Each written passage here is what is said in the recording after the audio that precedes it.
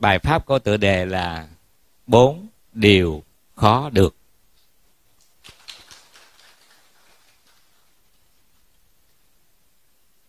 Điều thứ nhất khó được đó là được sanh làm người.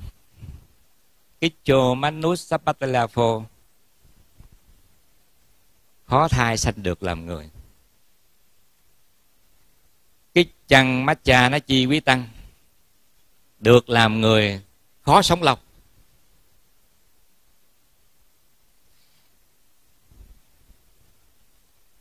cái cho cái Masawanang sát năng khó được nghe diệu pháp. Cái Buddha Namubbado ba khó gặp Phật ra đời.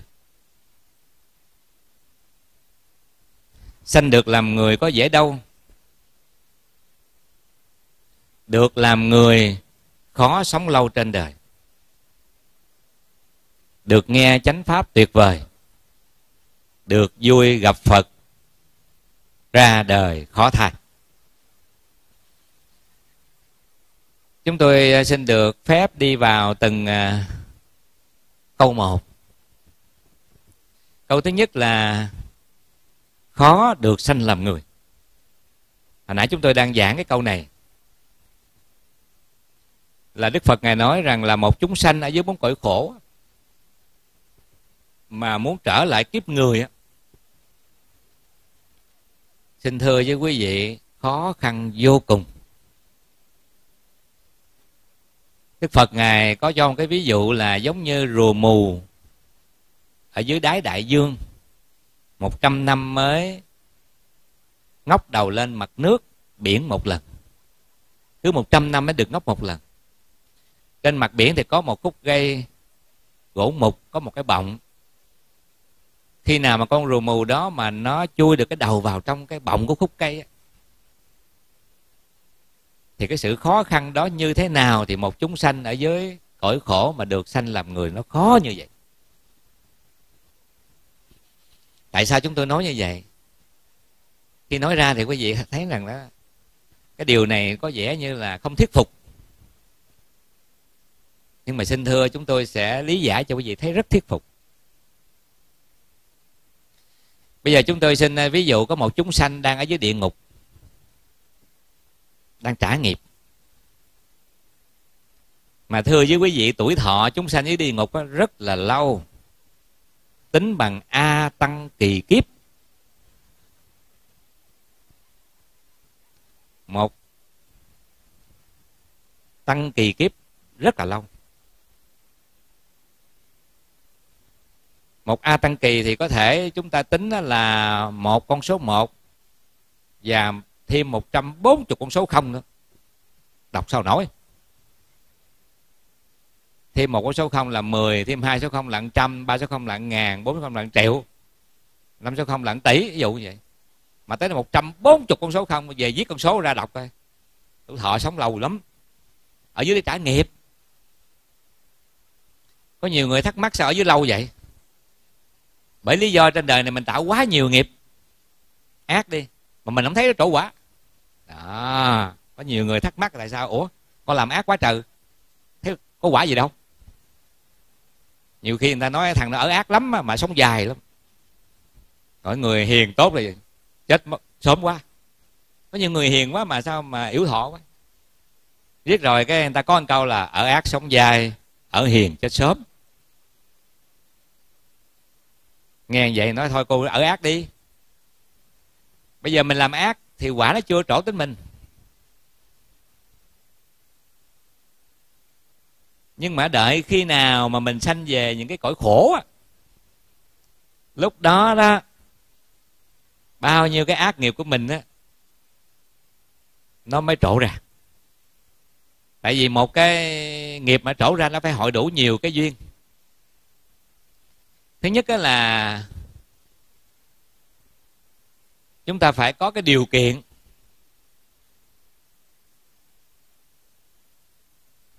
cho cái nghiệp đó nó trổ ra. Cụ thể như là đất của chúng ta thì lúc nào cũng có mầm móng cỏ. Ở dưới đất lúc nào nó cũng có cái mầm móng để mà cỏ mọc hết. Nhưng mà nếu trên đây mình cán xi măng đi hoặc là mình trồng hoa, trồng bông, hoặc là mình thường xuyên mình chăm sóc cài xới nhổ cỏ, vân vân, thì cỏ nó lại không có điều kiện nó nó mọc. Nhưng mà nếu như mình, đất mình bỏ quan đi, thì cỏ nó sẽ có điều kiện nó nó mọc. Cũng vậy, một cái ác nghiệp để muốn trổ với mình á, thì nó phải có cái môi trường hiện tại nữa nghe. Những cái nghiệp mà không phải trọng nghiệp á thì nó phải có cái môi trường hiện tại. Khi mà mình sanh về các cái cõi khổ đó, đó là cái môi trường tốt nhất. Tốt nhất cho bao nhiêu cái ác nghiệp mà mình gây mà từ đó giờ mình không thấy á. Nó trổ ra. Cái dạng như là dậu đổ bìm leo vậy đó. cái dạng giống như là khi mình khỏe thì bệnh tật nó không tấn công mình được. Khi mà mình có sức khỏe có cái đề kháng cao thì bệnh tật nó không tấn công mình được nhưng mà xin lỗi quý vị nghe, khi mình xế chiều đi, bắt đầu cái tuổi của mình nó u năm mươi, sáu mươi đi. Đó, bắt đầu nó có tín hiệu rồi. Tín hiệu sức khỏe giảm rồi. Đề kháng giảm rồi. Lúc đó đó, quý vị mới thấy là mầm móng bệnh tật nó kéo đến. Nó không phải đến một mình đâu. Nó kéo cả dòng, cả họ, cả làng, cả xóm nó thôi. Bệnh này nó sợ bệnh kia đi khám đi là biết. Đủ thứ bệnh hết. Mấy người mà có tuổi chút đó. Thì nó y chang như cũng vậy. Chúng sanh dưới địa ngục là bao nhiêu cái nghiệp ở chỗ này. Rồi ở dưới địa ngục, cái kính thưa với quý vị, cái môi trường ở dưới là cực kỳ khổ. Chúng tôi xin à, ví dụ sơ sơ cái hình ảnh là, ví dụ mình đang bị cái cái địa ngục mà cái quả nó nó trổ cho mình là mình đang bị nằm trong cái chảo dầu sôi đi. Hôm nay vậy đó, mình tưởng tượng vậy thì cái cảm giác khổ đau của mình nó giống như là một con cá sống mà nhúng vô chảo dầu. Chết liền tức khắc. Mà chết đi rồi có hết được đâu. Sự sống mới rồi sẽ lại bắt đầu. Nó kéo cổ mình lên đó, thì lại sống lại. Sống lại là một kiếp nha rồi tiếp tục nhúng mình xuống dầu cái xèo cái nữa là hết một kiếp nữa. Nó lúc nào nó cũng cảm giác là đau đớn khốc liệt như vậy đó. Cái cảm giác nó cực khổ cực khổ đến mức độ là phải chết. Rồi lại kéo đầu lên là sống. Mà chúng sanh ở dưới là nó quá xanh quá sanh là gì? Là vừa chết xong là hiện ra kiếp sống mới liền. Rồi lại tiếp tục bị bỏ vào chảo dầu, rồi lại chết chết rồi lại kéo ra.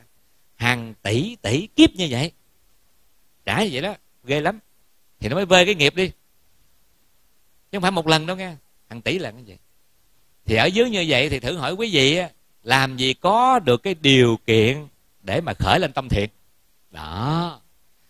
Mà mình muốn sanh lên cõi vui hoặc sanh làm người thì phải có tâm thiện mới sanh lên được. Mà trong cái bối cảnh như vậy, chưa kịp thở nữa là đã chết rồi. Làm sao tu? Phải không nè? Chưa kịp thở nữa là đã tiếp tục chết một kiếp sống khác. Rồi lại sống lại sống lại, chưa kịp thở lại tiếp tục bỏ vô chảo dầu. Nghĩa là cái điều kiện để mà chúng ta khởi lên cái tâm thiện á, nó không có. Chỉ có cách duy nhất là phải trả bớt cái nghiệp đi thì nó mới có được một khoảng, một cái dây ngắn nào đó tức là kéo lên cái cái ông uh, quỷ sứ đó. Ông kéo lên cái ông có việc gì đó ai kêu ông ông ngưng chút là mình được thở chút. Ông ngưng nói chuyện với người kia xong là ông quay qua ông nhớ tới mình là lại bỏ xuống. Nếu như mà ông ngưng lâu thì cái nghiệp mình nó đã bớt rồi. Còn mà ông nhớ liền là nghiệp mình chưa bớt. Nó nó ná vậy đó. Tức là ông kia ông quên cái gì đó hoặc ông bận cái gì đó thì ông may mắn là mình được thở được một chút. Còn nếu không ông không quên không nhớ là ông lại bỏ tiếp tục xuống cái chạm lại nữa dưới địa ngục thì à, cũng không có cái điều kiện để mà tu hành. Cũng không có thầy bà nào mà dám xuống dưới lập chùa để cho người ta tu. Giờ thử hỏi à, hai thầy ở đây nè. Thầy tí thanh với thầy tí mẫn có ông nào dám xuống dưới xây chùa không? Mà nếu mà có can đảm xuống dưới xây chùa cũng không ai tu. Họ nằm trong chảo dầu sao họ tu? Cho nên chúng tôi mới nói là cái điều kiện để mà thoát ra khỏi cái địa ngục nó cực kỳ là khó. Chỉ với một cái điều kiện duy nhất là mình phải trả bớt cái nghiệp của mình đi. Nó vơi đi cái nghiệp, thì mới hy vọng thoát ra. Mà thoát ra khỏi địa ngục cái đâu phải lên làm người liền đâu. Hãy sanh làm cái gì biết chưa sanh làm ngạ quỷ. Cái loài chúng sanh trả nghiệp cực khổ nữa ví dụ ngạ quỷ đói đói đến mức độ phải chết rồi lại quá sanh ra tiếp tục đói. Đói triền miên như vậy, đói mà đói phải chết kìa, chứ phải đói như mình nằm lết lết đâu có người cho ăn đâu, không phải. Còn này là đói phải chết. Chết xong là tiếp tục đói. Mà ăn không được. Rồi hết trả bớt bao nhiêu kiếp trong kiếp ngạ quỷ. Rồi mới sanh qua làm súc sanh. À. mà súc sanh xin thưa với quý vị, không phải được làm trâu bò, chó gà liền đâu mà phải sanh vào những cái loài chúng sanh nó ẩm thấp nó không có nhận thức. Ví dụ những cái, cái, cái con côn trùng mà nằm trong những cái đất mà ẩm thấp thì thử hỏi quý vị mấy con đó sao tu? Sao mà khởi lên tâm thiện được? Rồi cũng phải sanh vô kiếp đó những con như thiêu thân rồi nè làm sao mà tu?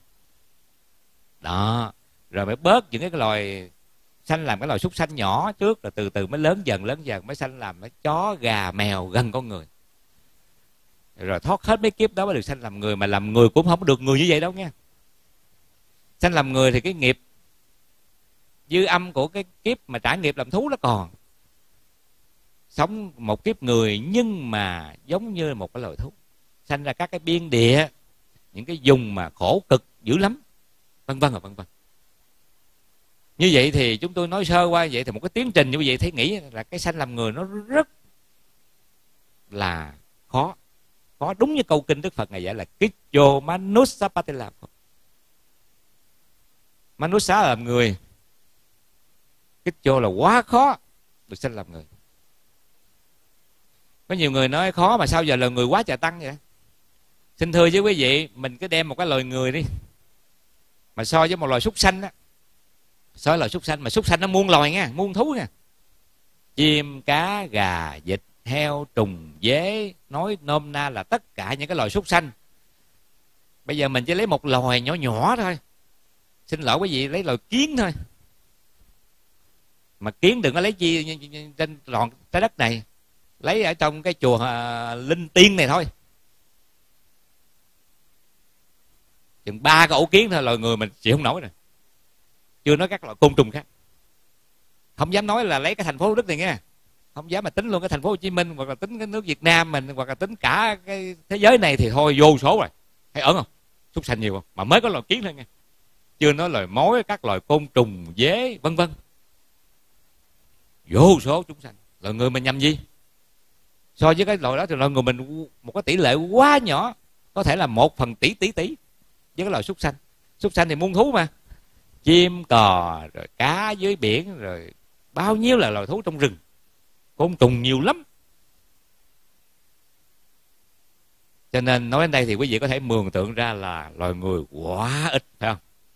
So với cái loài súc súc sanh. À, mình chưa nói cái loài vô hình nha.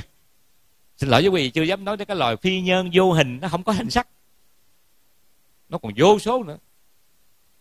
Tính bằng à, triệu triệu ức ức cho nên cái câu này khi chúng tôi nói ra lại quý vị mới thấy được là quá khó được sanh làm làm người. Mà hôm nay mình được sanh làm người vỗ tay chúc mừng mình đi. Đúng như câu phật ngôn đức phật dạy là sanh làm người là khó chứ không phải là dễ. Câu thứ hai là cái cha má à, chi quý tăng. Được làm người khó sống lọc. Cái sự chết á nó mong manh lắm quý vị. Mình thấy cái sự sống của người mình mình thấy vậy chứ mà cái sự chết nó nó, nó rình rập sát bên. Mong manh không chắc chắn. Hôm nay thì biết hôm nay chứ ai biết ngày mai thế nào? Không ai biết được ngày mai mình còn sống hay không? Ý chúng ta nói là cái sự vô thường cái sự mong manh của kiếp người. Và con người chúng ta là phải chịu cái cái cái cái cái, cái, cái, cái, cái sự mong manh đó. Có những người quý vị biết không là chết trong bụng mẹ luôn. Có những chúng sanh chưa kịp chào đời đã chết rồi. Có những chúng sanh vừa chào đời cũng cũng cũng cũng, cũng chết. Có những chúng sanh thì sống lên một tuổi chết. Có những chúng sanh là 10 tuổi chết. Có những chúng sanh thì 20 tuổi chết. Nó chết bất cứ lúc nào mà khi mà tuổi thọ đến thì, nghiệp đến, mãn phần đến thì phải chết. Cho nên cái sự chết nó đến với mình bất cứ lúc nào. Cho vì vậy mà được làm người là khó sống lâu trên đời. Dùng cái hiểu cái từ đó. mình sẽ làm người rồi, nhưng mà khó được sống lâu trên đời. Chúng tôi nhìn xuống đây, chúng tôi thấy ai cũng có tuổi hết trơn à. U năm mươi, u sáu mươi có. Cũng tự vỗ tay chúc mừng mình luôn. Hên quá. Đại dịch vừa rồi giờ còn ngồi nghe pháp. Đó. Nhiều người không còn. Nhiều người không còn.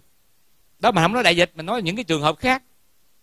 Tai họa thình lình rồi tai nạn bất ngờ rồi sự chết đến với mình bất cứ lúc nào nhiều khi đang ở trong nhà cũng nó cũng, sẽ cũng đến với mình được. Có nhiều người ngủ một đêm rồi là cũng có câu chuyện vui về ba ông lão uống trà ba ông lão này cũng à, thấm nhừng à, đạo pháp,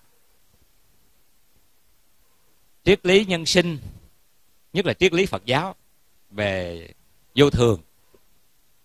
Hôm nọ có ai tặng gói trà ngon, cái ba ông lão mới chăm bình trà ra ngồi uống, để cho tăng thêm à, buổi uống trà. Cho nên ba ông lão mới nói, thôi ra chủ đề, hôm nay mình chọn cái chủ đề nào đó mình bàn. Thế là ba ông lão mới bàn về chủ đề vô thường chủ đề vô thường của phật giáo, triết lý phật giáo. Vô thường là gì, quý vị biết không? Vô thường là gì? Ai hiểu không? À hay quá. Vô thường là không có trường trường tồn, không có thương tồn. Trên thế gian này, đức phật ngài dạy, tất cả các pháp đều vô vô thường. Chỉ có cái pháp vô thường là nó thường chỉ có cái pháp vô thường là nó thường nghe, lúc nào nó có cái mặt còn tất cả các pháp đều vô thường. Nhưng mà cái pháp vô thường á nó là thường. Thế là ba ông lão này mới chăm bình trà ra. Ra cái chủ đề là vô thường. Hôm nay mình bàn về cái này để mình mình xác định được là là được làm người khó sống lâu lắm. Vô thường đến rước không biết lúc nào mà. Cái ông thứ nhất ông uống ly trà vô. Ông thốt lên một câu cũng mang tính ờ, triết lý phật giáo nói là chủ đề vô thường. Ông mới nói rằng là hôm nay ba mặt ngồi đông đủ. Chẳng biết sang năm vắng mặt nào. Vô thường à nghe. Không tin chúng tôi bây giờ mình mình đây cũng được nè. À, hôm nay à, mấy mặt này ngồi đông đủ nè. Không biết sang năm vắng mặt nào là có à. nếu ai mà quay phim mà đi. À, quay phim là điểm danh đi nha là nhờ thầy trụ trì ghi địa chỉ số điện thoại. Đúng năm sau ngày này, điện thoại có còn ai, alo không? Điện thoại mà thấy ờ, thấy ba quý khách là biết rồi đó. Người kia đi xa rồi. À. câu thứ nhất của cái ông lão ông nói là, hôm nay ba mặt ngồi đông đủ. Chẳng biết sang năm vắng mặt nào. Ấn không? Khó sống lâu lắm. Mình cũng không biết mình có được qua con trăng này không đừng nói qua năm nay. Vô thường mà sống nay chết mai. Cái ông thứ nhất à, nói xong, cái ông thứ hai, ông nói, anh nói vậy thì để biết được cái vô thường của anh, nó lâu quá đi. ba trăm sáu mươi ngày, năm sau lận. Thì ông mới nói, ông mới thốt lên câu là, đêm nay dài dép để nơi đất. Chẳng biết sáng ngày có sổ vô. À nhiều khi à, tối nay mình lên vừa mình ngủ.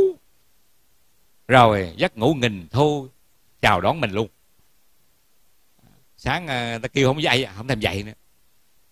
Rồi không kịp mang đôi dép vô nữa. Đêm nay dài dép để nơi đất chẳng biết sáng ngày có sổ vô có sổ vô nổi không? Hay nằm luôn. Nằm luôn. Có luôn. Vô thường là gì đó.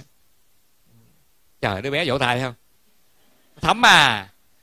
À này chắc cũng cốt bồ đề à. Người gì mà cốt bồ đề nói đây mà không ai vỗ tay đâu. Có mình bé đó ngộ được vỗ tay.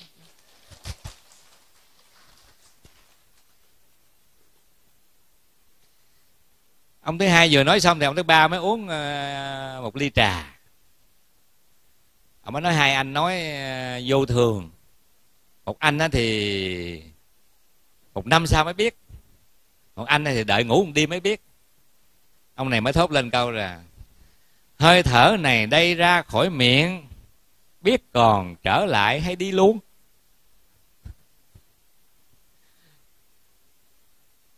Nó ờ, ra mà nó không về. Nó ra mà nó không vô, đúng mà đi mà nó không về. Vô thường. Có nhiều người sáng đẩy xe ra rồi đi luôn, không về nhà nữa.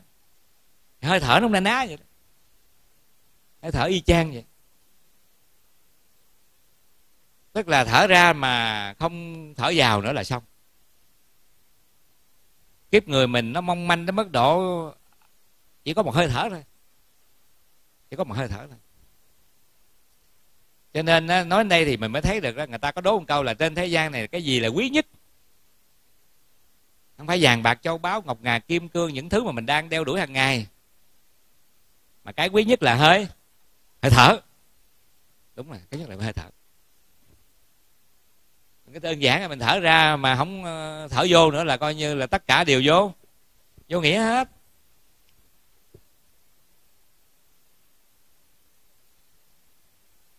Như vậy thì cái điều khó thứ hai mà trong kinh đức phật ngài dạy là gì? Được làm người khó sống sống lâu. Tức là có tuổi thọ. 10 năm cũng được 20 năm cũng được 30 năm cũng được. Và ngài dạy rằng cái pháp vô thường này là một cái pháp để mà khích lệ chúng ta tu. Ai mà ngộ được cái pháp vô thường, thấy được pháp vô thường thì người đó mới biết chuyên tâm tu còn mà mình không thấy được vô thường thì mình dễ vui dữ lắm. Giữ ngươi dữ lắm. Một đoạn kinh khác đức phật ngài có giảng rằng là trên thế gian này có bốn hạng người. Được ví dụ giống như bốn hạng ngựa kéo xe. Cái hạng ngựa kéo xe thứ nhất á, chỉ cần thấy cái người này á cái người đánh xe dơ cái cây lên. Là con ngựa nó biết là nó kéo xe đi. Thấy cái bóng thôi. Là nó biết là nó bổn phận của nó phải kéo xe đi. Thì đức phật ngày ví dụ, trên thế gian này cũng có một hạng người, giống như một hạng người là ở trên đời này họ chỉ cần vào chùa đó nghe các sư, các thầy dạy là, cuộc đời là vô vô thường. Không chắc, không bền vững. Sống nay chết mai, không biết đi lúc nào. Là cái người này họ thức tỉnh, họ về, họ lo tu rồi. Cái tu của họ là không phải là cạo đầu, đắp y, xuất gia cho tu. Mà cái tu của họ là gì? Là họ không làm điều ác rồi. Họ lo làm điều lành thôi họ chỉ chuyên về tạo những cái công đức phước đức thôi. Tu là vậy đó. Tu là là là là là, là, là, là nghĩa của tu nó có hai nghĩa. Ngoài cái chữ sửa ra là ngoài cái nghĩa đó nó có thêm cái nghĩa trao dồi. Tức là trao dồi công đức trao dồi phước đức. Không có làm điều ác mà làm cái điều lành. Đó. Cái người tu là vậy đó. Họ về họ lo họ chuyên làm cái gì ác họ không làm. Gì thiện họ mới làm. Mà tranh thủ dữ lắm. Bây giờ biết rằng có cái thân này thì mới mới dễ giác ngộ dễ thức tỉnh dễ mới tu nghe các thầy, các sư ở chùa dạy là đời là vô vô thường là họ vô thì giống như cái con ngựa thứ nhất, thấy cái bóng cây lên là lo kéo xe đi. Đức Phật ngài dạy tiếp có cái loại ngựa thứ hai. Cho dù có thấy bóng cây người này đưa lên, người đánh xe đưa lên cũng không chịu kéo xe đi. Đợi cái người đánh xe đó đánh vào trong mông một roi, quất vô cái mông bò kéo xe đó, đánh vô con bò hoặc là con ngựa, thì con ngựa đó đó mới làm nó kéo xe đi. Thì cũng giống như vậy, trên thế gian này đức phật ngày dạy cũng có những người đến chùa, cũng nghe các sư, các thầy giảng. Cuộc đời là vô vô thường tỉnh bờ. Trời, vô thường vô thường, đâu mất mất người ta con. Nhưng mà đi về nhà, có cái ông ờ, ở đầu sớm đầu ngõ mới ngày hôm qua ông còn gặp mình chào nói cười cười hỏi thăm. Hôm nay vô thường rút đi rồi. Hôm nay thấy bên đó đang chuẩn bị lo đám rồi. Rần rần rần rộ rồi đầu ờ, nhà đồ rồi đến là đục đục đục đục chở hàng rồi tới chuẩn bị. Tao hỏi ra ông nói ông nó chết rồi mình hết hồn đó rồi. Mới sáng hôm qua đi ra ngõ gặp ông mà. Ông còn hỏi mình khỏe không nữa là mình trả lời mình khỏe rồi. Hỏi ông khỏe không? Nó không khỏe mà sao này ông chết rồi ta? À, thì lúc đó cái người này mới hết hồn phải thức tỉnh. Bắt đầu lo mà tu liền tranh thủ liền. Không được rồi mình không biết ờ, giấu ông này lúc nào đây. À, là bắt đầu lo làm lành lánh dữ rồi đó. Chữ tu mình phải hiểu đơn giản là làm lành lánh dữ. Trao dồi công đức. Không làm điều ác chỉ làm các điều lành thôi. Rồi à, đức phật ngài giải tiếp là có cái hạng ngựa thứ ba. Là cho dù thấy bóng cây hay là người này có đánh đi nữa cũng không chịu chạy cái dạng là lì á, đứng đầu á. Đợi cái người này giận lên á, đánh thêm mấy roi nữa mà đánh mạnh tay á, đánh mà nổi lằn á, đánh mà vô tới nổi lằn vô da đó. Thì bắt đầu con ngựa nó đau quá, nó mới chạy. Thì cũng vậy, đức phật ngài nói trên thế gian này cũng có những người dầu chùa nghe biết các pháp hữu di là vô thường, có sanh ắt có diệt, có đến ắt có đi rồi biết cuộc đời là vô thường lắm sống nay chết mai cũng tỉnh bơ. Về nhà cái ông hàng xóm hôm qua đó ông ông mới sống đó nay ông quá ra người thiên cổ rồi. Cũng bình thường ông chết có mất mới tới mình đâu. Nhưng mà đụng cái trong nhà mình trong quyến thuộc của mình. Thí dụ nghe cha mẹ ông bà cô dì chú bác mà có liên quan tới mình đó, dòng họ mình đó, mà ngày hôm qua mới khỏe hôm nay độc tử thì mới thấy được cái sự vô thường phải lo tu. Đức phật ngày dạy tiếp cái có cái hạng ngựa thứ tư là cho dù có đánh cỡ nào cũng không đi phải đợi cái người này lấy cái vật nhọn á cái, cái đinh á đâm vô trong xương á.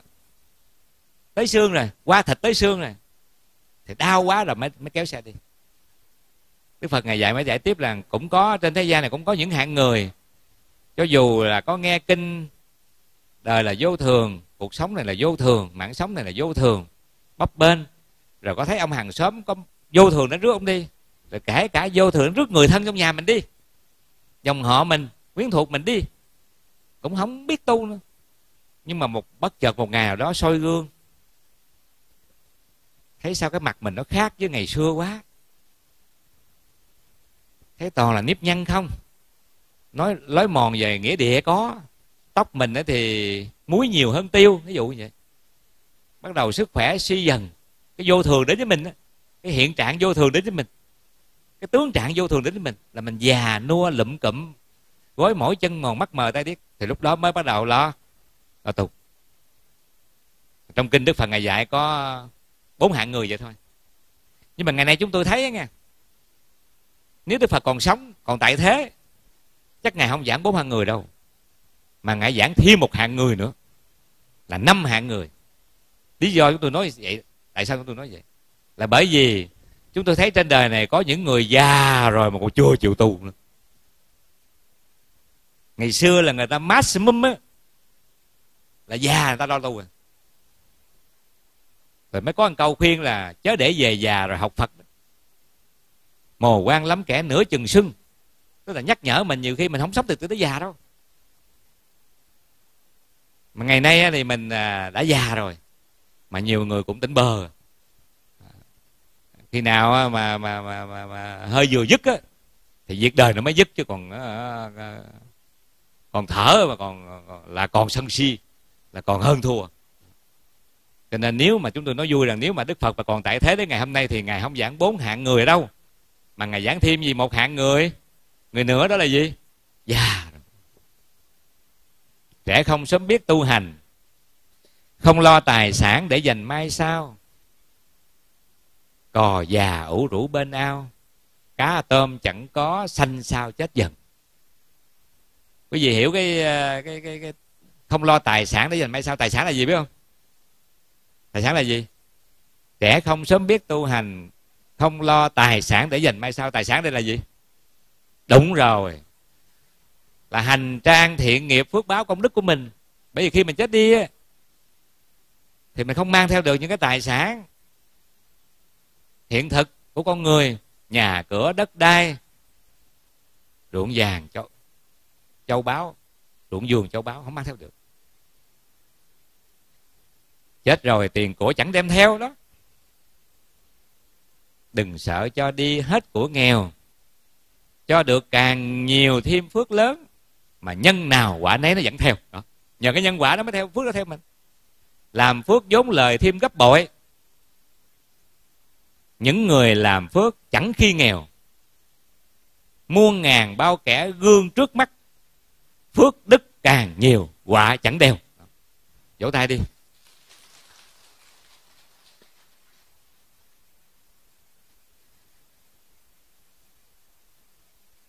Cho nên là nếu như mà đức phật còn sống thì chúng ta thấy là đức phật ngài dạy thêm một cái hạng người thứ năm. Cái gì có đồng ý không?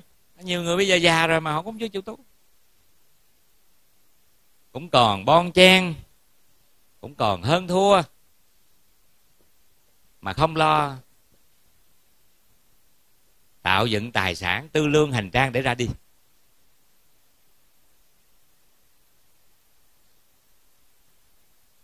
Và mình cũng biết rằng là sanh chẳng mang đến, đúng không? Chết chẳng mang đi. Chào đời thì hai tay trắng lìa đời thì trắng hai hai tay. Chỉ có nghiệp kiếp này. Còn dương vấn kiếp sau. Nghiệp là gì? Là hành động thiện và ác. Đúng rồi. Hai cái đó thôi. Nghiệp là tài sản của mình đó nghe thì nghiệp này nó có hai là thiện và ác. Chỉ có nghiệp kiếp này nè chỉ có hành động thiện và ác đó. Còn dương vấn kiếp sau. Người ta khuyên là sống sao cho phải đạo. Đừng giả bộ ngọt ngào mà lòng đầy binh đao, hại người bằng tâm ác thì quả báo muôn đời sau.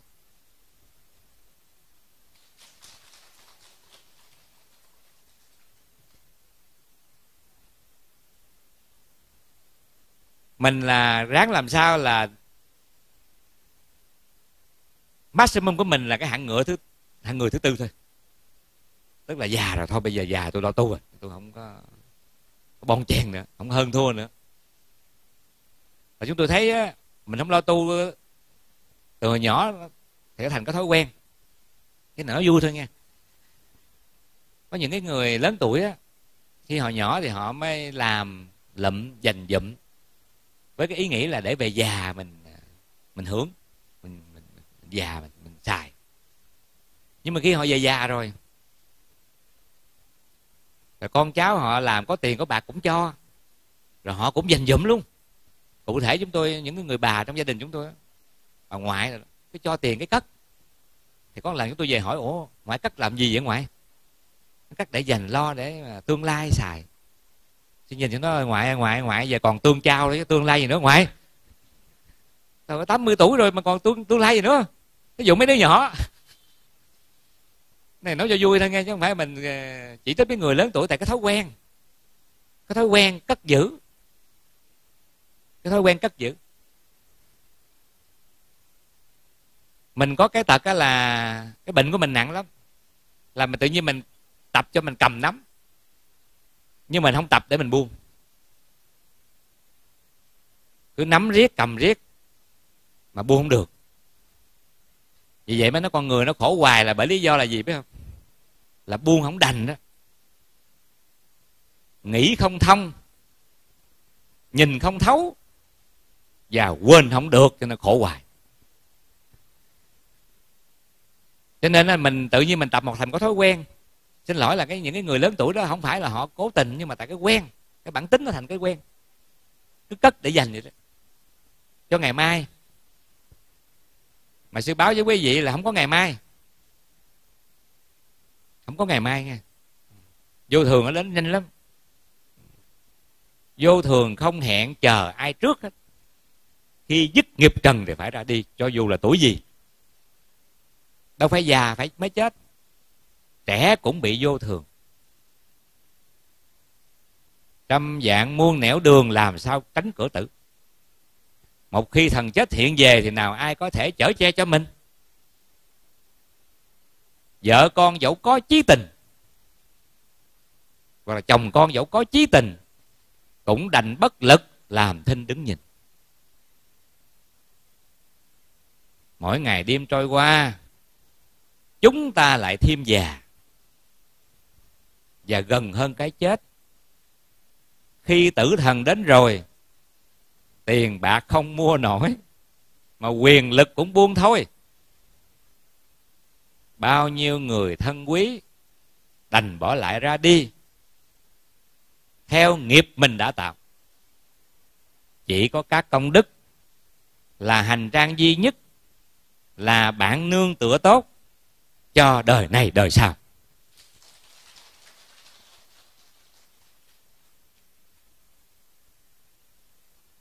Để thay đổi không khí cho nó bớt nặng nề. Gửi tặng quý vị bài hát cho nó mát mẻ chút. Trời, nó hầm quá, mưa mà nó hầm quá. Giảng cái chủ đề này nó hầm quá. Chúng tôi không có tính giảng chủ đề này. Thật sự hồi nãy chúng tôi có chọn một chủ đề là bình tâm an lạc. Mà không hiểu sao lên đây thấy trời mưa gió mà phật tử cũng đội mưa đến đây nghe pháp, nó chuyển sang chủ đề này.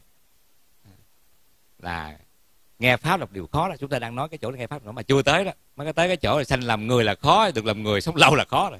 Chúng tôi cái, cái mục đích là chúng tôi giảng cái bài là được nghe pháp là điều khó. Phật pháp năng văn mà.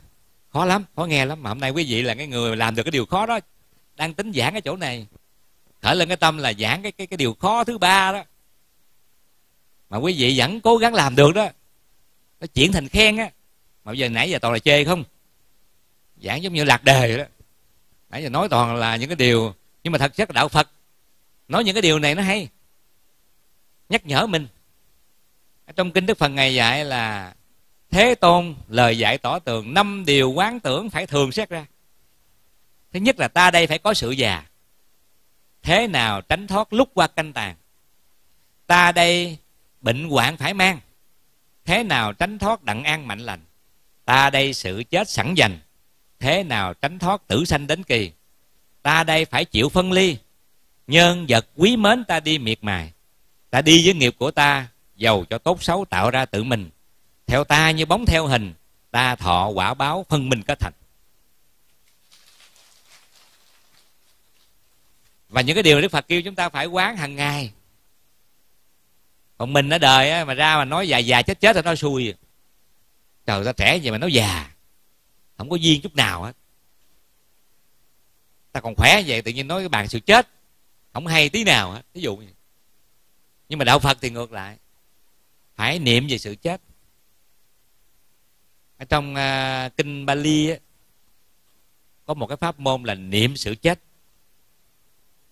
Nếu quý vị không sợ chết thì cho chúng tôi chỉ quý vị niệm. Cái người con phật là một chiến sĩ không có sợ chết mà thật sự mình xét cho cùng thì cái chết nó không đáng sợ. Mà cái đáng sợ thì mình sợ chết. Tại vì mình đã chết bao nhiêu kiếp rồi? Nếu kiếp trước mình không chết thì kiếp này làm sao có mặt đúng không? Quý vị đồng ý với chúng tôi nếu kiếp trước mình không chết đi thì kiếp này mình còn ngồi đây không? Có ngồi đây không? Không. Nếu không có một ông ông, ông lão 80 tuổi lìa đời thì làm gì có đứa bé sơ sinh chào? Chào đời. Theo quy lực mà nếu kiếp này quý vị không chết thì làm sao kiếp sau quý vị hiện hữu được? Cho nên là mình đã chết vô số kiếp. Nghe cho kỹ nghe. Lưng hồi bao nhiêu kiếp thì mình đã chết bấy nhiêu lần.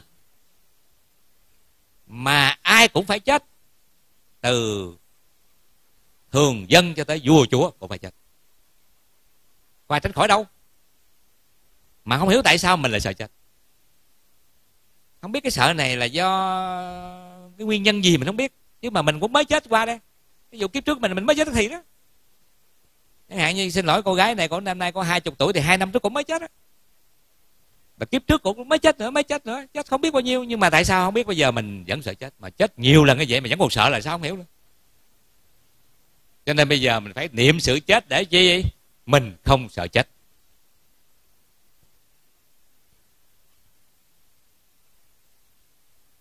Người sợ chết ta chẳng kinh đó, quý vị phải học câu này. Người ham cười nói ta dình lẫn thinh. Người tài sản ta tâm linh. Người mang khổ lị ta rinh đạo màu. Vỗ tay. Quý vị phải học câu này đi. Đọc theo chúng tôi thì dễ nhớ. Người sợ chết ta chẳng kinh đọc lại. Người sợ chết ta chẳng kinh người ham cười nói ta dình lặng thinh. Người tài sản ta tâm linh. Người mang khổ lị ta rinh đạo màu. Hay không? Hay mà khó hành. Tại mình còn sợ chết. Mình là người con phật đệ tử của phật là một chiến sĩ nha phải anh hùng lên, đứng trước cái chết, không sợ. Tại vì mình niệm hàng ngày rồi. Chứ mình nghĩ rằng á là cái người khác thì sợ chết, nhưng mà riêng mình thì mình không sợ. Mình chẳng kinh mà. Cái người kia thì ham vui, ham cười nói. Ta dình lặng thinh. Người tài sản ta tâm linh hiểu câu này không? Cái người kia họ tối ngày họ ham tài sản lắm họ ham tài sản. Nhưng mà mình thì sao? Mình chọn tâm linh. Mình chọn cái niềm vui của tâm hồn, bình an của tâm hồn, hay hơn tài sản. Rồi cái người mà chọn tài sản thì sao? Mang khổ lụy đó. Còn mình thì rinh đạo màu. Nếu mà thấm cái ý này thì à, thích thì chúng tôi dạy quý vị niệm. Đọc theo nghe. Marana. Tiếng phạn đó. Marana nusati nghĩa của câu này là tôi sẽ chết. Đọc theo. Tôi sẽ chết.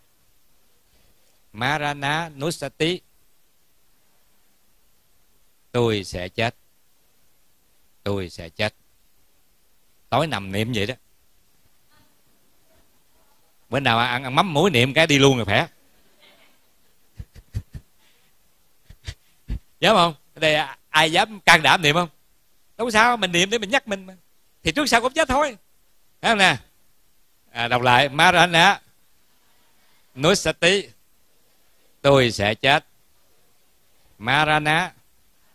Nusati tôi sẽ chết. Marana nusati tôi sẽ chết. Tôi sẽ chết. Đó hay lắm á. Mà ít ai dám niệm lắm. Thôi để con niệm phật cho chắc ăn, sư phụ ơi. Con niệm phật để con cầu con sống lâu. Thấy không? Thường là quý vị niệm phật là quý vị quý vị muốn là mình được sống lâu. Muốn mình được bình an, khỏe mạnh, không có chết. Còn sư dạy cái này thôi, con niệm đâu, để con niệm phật đi. Niệm phật thấy nó an hơn. Này, khó nhớ quá hả? Giờ muốn muốn dễ nhớ, phải không? Rồi. Bây giờ eh, niệm theo sự chánh định dạy dễ nhớ. Nhắm mắt, mở mắt. Hết một ngày. Nhắm mắt, không mở mắt. Hết một đời. Sống qua ngày. Chờ qua đời. Sống qua ngày. Chờ vô hồn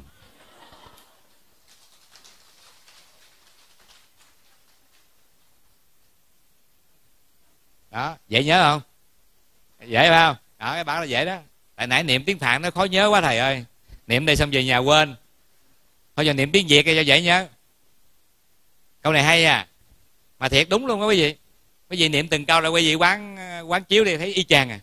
Đọc lại nha, nhắm mắt, mở mắt. Hết một ngày. Đúng không? Nhanh lắm. Sáng giờ nhanh không? Trời ơi, mới quay qua quay lại, cái hết ngày rồi nhanh vậy đó.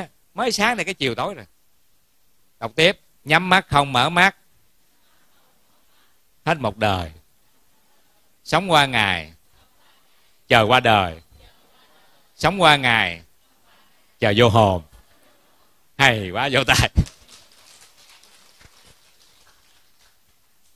trời ơi, giảng cái chủ đề này mà vỗ tay là hay lắm á. Chủ đề này chết chết chết, ai cũng sợ rồi. Thấy không?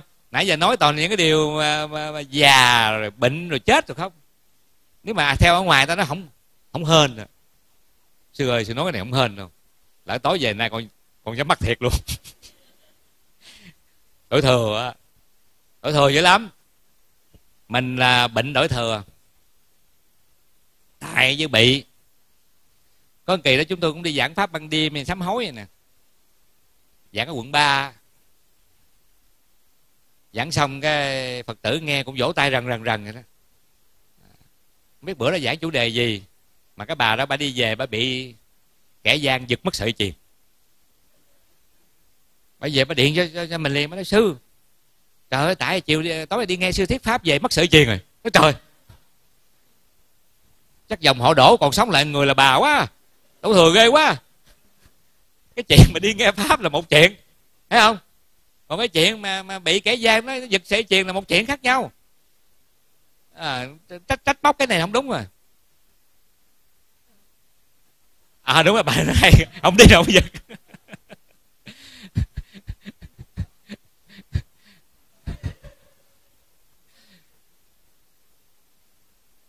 à đúng rồi. Đúng rồi có chữ buôn trong người không giác đúng rồi. Cái câu của nó rất hay là nếu không đi nghe pháp thì nó không giật. Có lý nhưng mà cái lý đó là lý ờ, gọi là ờ, lý mà thì giống như là mình dùng cái từ gì đó, lý ờ, cái chày cái cối thôi, chứ nó không có đúng. Tại sao biết không? Tại vì nếu như bữa đó không đi thì nó không không giật, nhưng mà sáng ngày mai nó giật. Nghiệp mà. Phải không nè? Nghiệp thì chạy đâu cho thoát. Nếu đã là nghiệp rồi thì cho dù là lên trời xuống biển, trốn vào hang núi, nghiệp nó cũng đến nghiệp thì dị thời mà quả dị thục. Khi quả chín mùi rồi mà nóng hái nó cũng rụng luôn cái trái cây đó có gì đó không?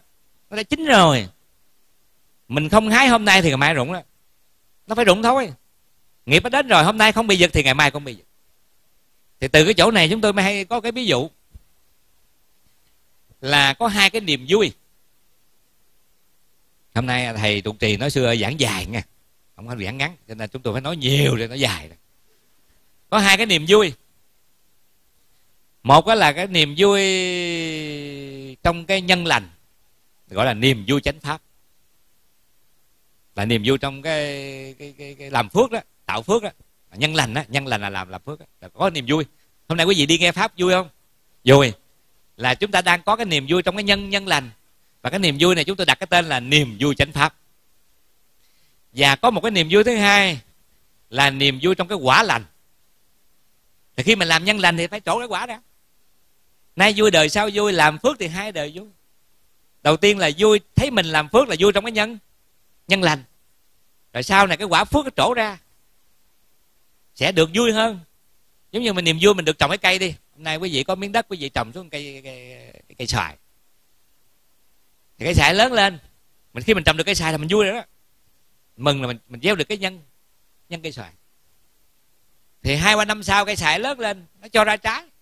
Khi mình hái trái xoài đó, mình có thêm một cái niềm niềm vui, đúng không? Đức Phật ngày dạy là cái người làm lành, làm phước có hai cái niềm vui. Là nay vui, đời sau vui, kiếp này vui, kiếp sau vui. Là cái niềm vui thứ nhất là vui trong cái nhân nhân gì? Nhân lành. Tức là vui trong cái làm, lúc làm phước á, gọi là niềm vui chánh pháp. Và sau này cái quả lành nó trổ ra, phước nó trổ ra. Nhưng mà kiếp này mình à, mình bố thí cúng dường là mình vui trong cái nhân lành nhưng kiếp sau mình trở thành là người giàu có, ví dụ vậy, là mình sẽ có cái niềm vui. Thứ hai là vui trong quả quả lành. Thì sư khuyên rằng là giữa hai niềm vui này là niềm vui chánh pháp và niềm vui trong cái quả lành là gọi là niềm vui cuộc đời. Cái niềm vui trong cái nhân lành thì có cái tên là niềm vui chánh pháp. Ha, quý vị nghe từ từ. Cái niềm vui trong cái quả lành là niềm vui cuộc đời. Ví dụ sao mình sinh ra mình có nhà, có cửa, có xe, có vàng, có dòng, có tiền, có bạc, có đầy đủ gọi là niềm vui cuộc cuộc đời. Là niềm vui trong cái quả lành. Cuộc đời nó mang đến cho mình cái niềm vui, cái phước của mình mang đến cho cuộc đời. Đó. Thì bây giờ trong hai cái niềm vui này, thì chúng tôi khuyên là mình nên chọn niềm vui chánh pháp. Là mình chọn cái niềm vui làm lành. Để rồi mình được cái niềm vui thứ hai là gì? Niềm vui quả quả lành. Là niềm vui của cuộc đời thì cái người làm lành có hai cái niềm vui nghe cho kỹ. Một là niềm vui chánh pháp hai là niềm vui của cuộc đời. Giữa hai niềm vui này thì chúng ta đều muốn hết. Mình là người con phật mà. Mình đều muốn hai cái niềm vui này. Nhưng mà để uh, thí dụ để mình chọn. Ví dụ như hôm nay uh, là chiều thứ bảy. Thầy trụ trì chùa linh tiên có nhắn cái tin cho mình. Chiều nay mời cô đến chùa văn kinh thính pháp để có được niềm vui chánh pháp rồi chiều hôm nay thứ bảy cũng có một cái thiệp mời đi ăn tiệc, sinh nhật hay đám cưới gì đó. Đến đó thì cũng được ăn ngon, mặc đẹp. Cũng thấy những cảnh ai cũng đẹp hết nhà hàng, khách sạn, rồi cô dâu chú rể, rồi quan viên hai họ, rồi bạn bè, ai cũng make up lên đẹp hết. Mặc áo ờ, đẹp hết. Đến đó vừa gặp bạn bè cũng vui. Thì chúng tôi tạm gọi là niềm vui của cuộc đời. Giữa hai niềm vui này thì chúng ta chọn niềm vui nào? Chánh pháp phải không? Đúng không? Là ví dụ như à, nhận được cái tin mời à, của thầy trụ trì, đến đây nghe pháp để có niềm vui chánh pháp. Và có một người bạn mình mời mình đi ăn sinh nhật hay là mời đi đám cưới để có niềm vui cuộc đời, thì chọn niềm vui nào? Chánh pháp. Đúng không? Đâu ai chọn vui chánh pháp giơ tay coi. Hết luôn phải không? À. Chúc mừng quý vị. Nhưng mà bây giờ cũng là niềm vui chánh pháp và niềm vui cuộc đời, mà chúng tôi xin ví dụ khác tí. Là chiều hôm nay thứ bảy đến chùa linh tiên để nghe pháp, có được niềm vui chánh pháp. Đổi lại, ở nhà, chiều hôm nay trúng được tờ vé số đặc biệt để có niềm vui cuộc đời, ở hay đi? Thiệt lòng nghe, đặc biệt à? Một tỷ số đặc biệt nhiêu vậy chú uh... trời ơi, hai tỷ hả? Trời ơi mất hai tỷ buồn lắm á đi không? Trời ơi em này nó tiền bạc vấn đề nữa. À, ơi để hai tỷ ở nhà.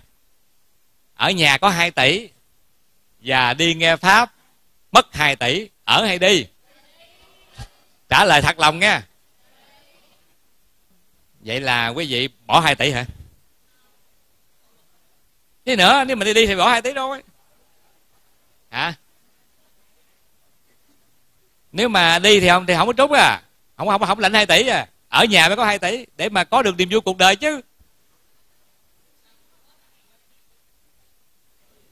Suy nghĩ lại đi nghe câu trả lời này là là là là, là không phải là trả lời theo cái cảm tính à. Bây giờ hai tỷ là ngay chứ không phải là đám cưới đâu. Hồi nãy đi đám cưới á thì đi. Ok đi chùa chứ không đi đám cưới. Đi đám cưới tốn tiền. Ví dụ vậy đẹp một chút vậy đó. Vô ăn con miếng này ngon ngon chút xíu mà tốn tiền phải không? À, đi đi lên đây nghe pháp cho nó khỏe. À, thì chọn đi chùa. Nhưng bây giờ ngược lại nó, nó, nó ví dụ nó nặng đô hơn. À hai tỷ à.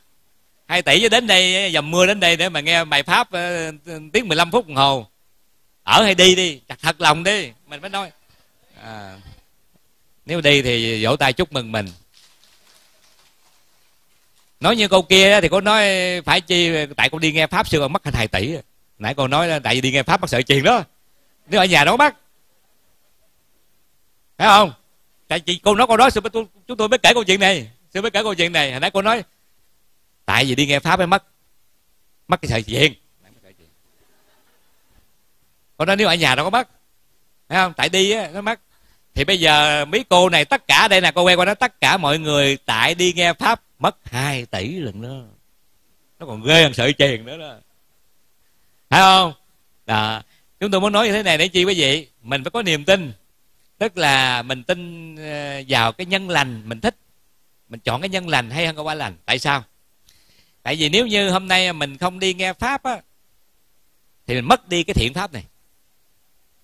Mất đi cái thiện pháp để mà mình tạo cái nhân lành này.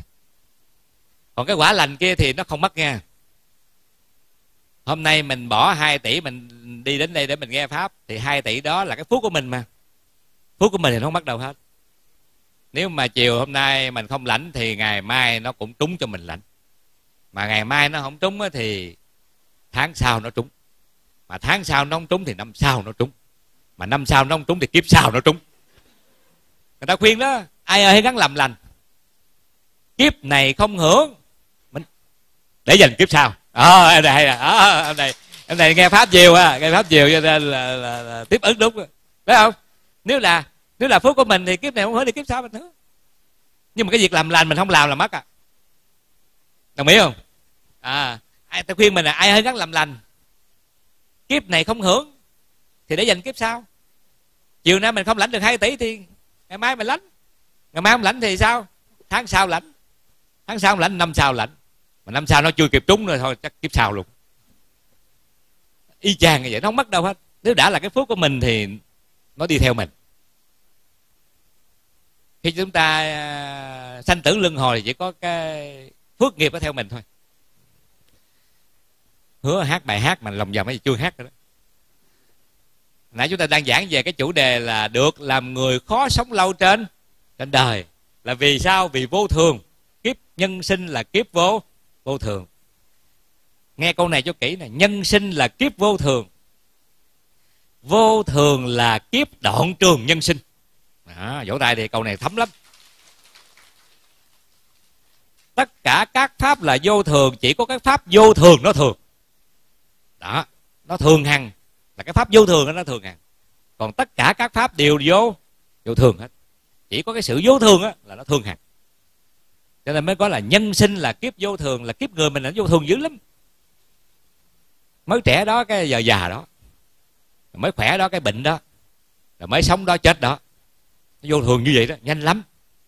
Quý vị không tin chúng tôi quý vị nhắm lại phán chiếu là mấy người bạn mình coi. Trời mới thấy đó nó, nó mất hết trơn rồi. À, nhất là cái mùa covid vừa qua đó. Đi nhiều lắm. À, rồi đang khỏe rồi bệnh nhiều lắm. Vô thường. Cho nên bài hát của chúng tôi xin gửi tặng quý vị là đời. Giả tạm. Vô thường.